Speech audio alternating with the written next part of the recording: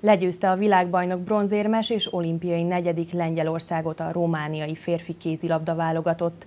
Az FC Barcelonát is edzők Xavier Pascual keze alá került román férfi kézilabda válogatott, hatalmas meglepetésre 28-23-ra nyert Kolozsváron. A románok ezzel a győzelmükkel 100%-os mérleggel vezetik az Európa-bajnoki selejtezőt, megelőzve Szerbiát, Fehér Oroszországot és Lengyelországot. A korábban négyszeres világbajnok romániai válogatott 22 éve nem jutott ki egyetlen világversenyre sem. Magyar ellenes hangulatban játszott a Sepsi Sziknői kosárlabda csapata. A zöldfehérek Jászvásáron léptek pályára, ahol magyarokat gyalázó rigmusok hangzottak fel. A csapat a rossz hangulat ellenére 63-59-re nyerni tudott.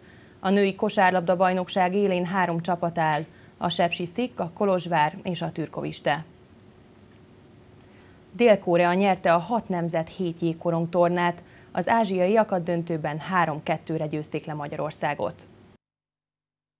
Dánia bravúros legyőzése után bizakodva várta a Dél-Korea elleni döntőt a magyar jégkorong válogatott. Rich Csernomász csapatában két csíkszeredai születésű hokis is jégre lépett. Sofron István és Sárpátki Tamás egész héten szerephez jutott.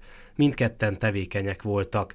Dél-Korea ellen bár jól játszott a magyar válogatott, a helyzeteket kihagyták, így az ázsiai csapat győzött. Sokkal gyorsabbak és nehezebb felvenni velük a verseny, kistermetőek, jobban lépnek a jégen. A kezdősebességük nagyon jó, taktikailag nem olyan pontosak, itt tudtuk volna őket megfogni, ami szerintem nagyon sokszor látszott, és ki is jött a meccse, hogy te, ö, taktikailag sokkal fegyelmezettebbek vagyunk. Most sajnos nem sikerült annyi gólt lőnünk belőle, amennyit terveztünk.